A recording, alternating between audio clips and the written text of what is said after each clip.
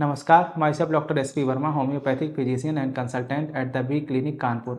आइए बात करते हैं 28 वर्षीय राजेश पाल जी के बारे में, जिनको जिनको लगभग पिछले एक साल से लेटिन के साथ में ब्लड आने की समस्या थी। जो ब्लड है वो उनको कोस्टूल हार्ड होने पर आता था, जिसमें उनको लेटिन करते समय काफ़ी ज़्यादा ज़ोर लगाना पड़ता था, जो कि उनकी कंडीशन ऐसी होती थी, बता रहे थे कि लेटिन करते समय उनके आँसू आ जाते थे। काफ़ी ज़्यादा परेशान रहते थे उन्होंने हमारी टीम से दो महीने पहले संपर्क किया। अभी तक उनका हम लोगों ने सिर्फ़ दो महीने इलाज किया है। इस दो महीने के इलाज में वो अपने आप को नाइन्टी परसेंट तक स्वस्थ महसूस कर रहे हैं। आइए जानते हैं पेशेंट का फीडबैक।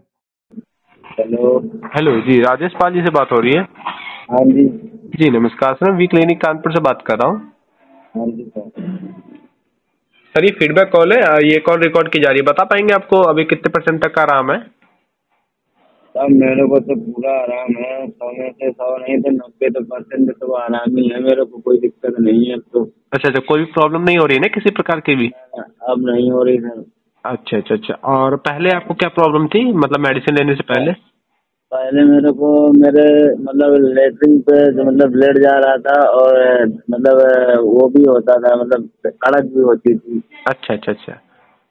और आ, मतलब कोई आपको साइड इफ़ेक्ट तो नहीं लगा हमारी मेडिसिन से किसी प्रकार का भी? नहीं नहीं अब तो नहीं हो रहा सर कोई हम्म। दिक्कत नहीं है। हमारे यहाँ से आपको रेगुलर रेगुलर कॉल किया जाता था हमारे यहाँ से आपको? हाँ जी हाँ जी सर।